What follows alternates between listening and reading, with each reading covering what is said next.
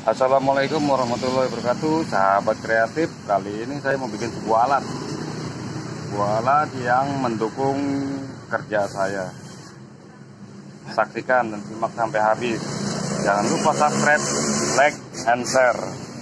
Terima kasih